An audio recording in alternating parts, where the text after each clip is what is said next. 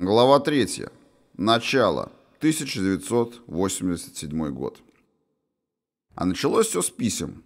«Дорогой мой, единственный, на одного тебя надежда, и в тебе одном вижу я спасение. Только ты можешь спасти меня и наше королевство». Именно такими были первые слова книжки, которую я начал писать в шестом классе. Она рассказывала о том, как главный герой получал странные письма от неизвестной ему принцессы из сказочного королевства, потом случайно туда попал и пошло-поехало.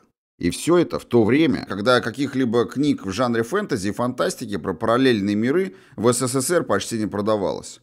Максимум, что можно было достать, это Жюль Верн и Стругацкие.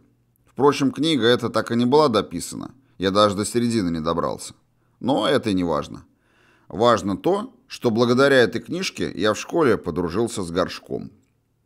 Для полноты картины расскажу о нашей школе и нашем классе. Школа наша была только что построена в совершенно новом районе на Ржевке. Часть домов в микрорайоне еще достраивалась.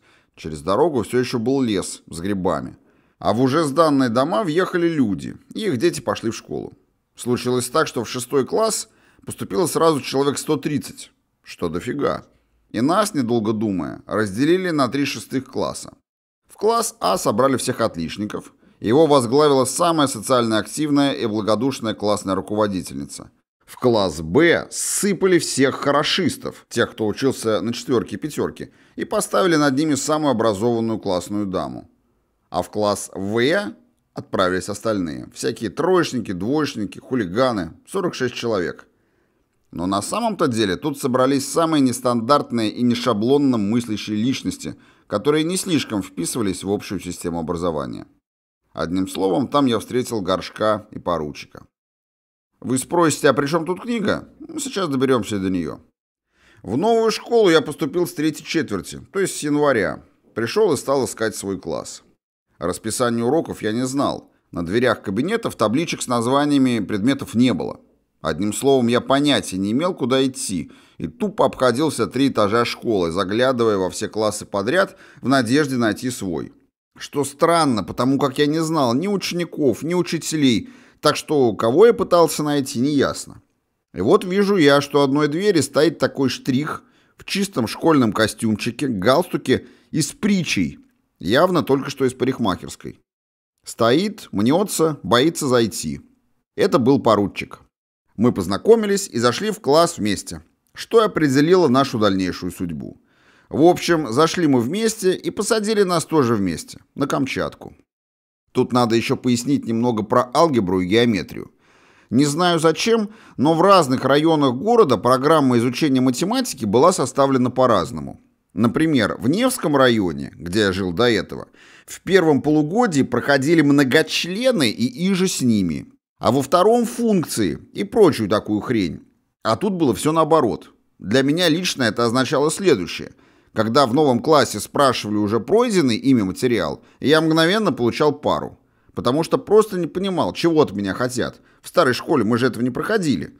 А когда они начинали изучать новый материал, я все уже знал, потому что этот новый для них материал я изучал полгода в старой школе. Иными словами, я А самостоятельно изучил полугодовую программу по математике для шестого, сейчас это седьмой класса, что было нелегко, во время изучения нового для них материала мог полгода пинать балду, потому что заранее его знал. С той математикой, которую пришлось изучать самостоятельно, помог мой только что полученный второй разряд по шахматам. А чтобы не сдохнуть от скуки за полгода, пока не учили то, что я и так знал, я начал писать книгу. Возвращаясь к книгам. На переменах многие мои одноклассники стояли у окна в коридоре и читали. Тогда читать вообще было модно. А может, просто делать больше было нечего. Интернет и сотовая связь появились гораздо позже. И надо вам сказать, что у Горшка дома была нехилая библиотека редких и интересных книг. Дело в том, что его папаня работал в КГБ. Это мне по секрету сказал сам Горшок. И то ли на работе по подписке, то ли еще каким мутным путем. Достал он где-то множество редких и прикольнейших книг, да и уставил ими всю гостиную.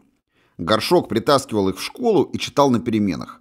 Естественно, я у него какую-то книжку взял почитать, а он, узнав, что я сам на уроках пишу, попросил у меня мою писанину. Позже он мне как-то сказал, что его поразил сам факт того, что можно не только читать книжки, но и самому их писать. А мое юношеское воображение горшок поразил вот чем. Когда я свою толстую тетрадку получил назад, обнаружилось, что горшок дописал почти две главы. После этого мы какое-то время подолгу шлялись после школы и выдумывали продолжение. И пришли к выводу, что писать интересные книжки так же интересно, как и читать. Мне нравилось писать. Это не было самоцелью, и я не собирался никому ничего показывать, мне просто нравилось. А когда туда немного дописал Мишка, получилось что-то новое. Другой взгляд, чужая точка зрения, которую можно было критиковать, но это было что-то новое и свежее. Одним словом, мы решили продолжать. Хотя на деле мы чаще ничего не писали, а просто обсуждали, что там дальше в книжке может произойти. Это требовало меньших сил, а сюжет развивался значительно быстрее. К тому же нас ничего не сдерживало. Раз оно не записано, значит, всегда можно переиграть. Да и чтобы записать что-либо, нужно время. А в том возрасте у меня была масса других интересных дел. Например, играть в пятнашки в недостроенных домах. И вообще.